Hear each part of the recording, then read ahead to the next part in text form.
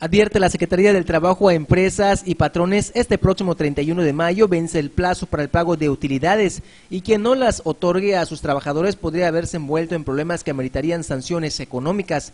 Eduardo Bando Martínez señaló que no habrá prórroga para el pago del reparto de utilidades. Está por concluir el término de tiempo establecido por la ley para el pago de utilidades a los trabajadores y ya hemos hecho los exhortos eh, a través de los diferentes medios de, comunicación y además a través de oficios dirigidos a las empresas para que cumplan con esa obligación.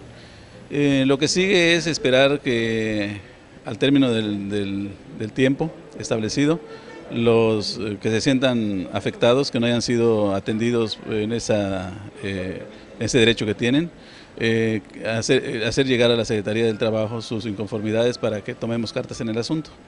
En ese sentido, mencionó, ya se ha exhortado a empresas a través de oficios para que cumplan con este concepto que está fijado en ley. De no hacer caso las empresas y los patrones, los inconformes pueden iniciar un proceso en contra de la misma para que les cumplan con este concepto estipulado en la ley.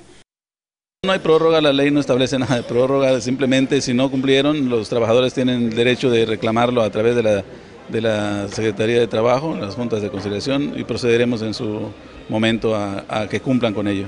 El cumplimiento cabal, tiene que cumplir a, cabalidad con esa responsabilidad. No hay, no hay otro, otro mecanismo. Obando Martínez dijo que la Secretaría del Trabajo estará recepcionando quejas después del plazo, inclusive si cae en sábado o en domingo para mayor comodidad de los quejosos. Con imágenes de Marcial Martínez para Notivisión, Juan Pablo Hernández.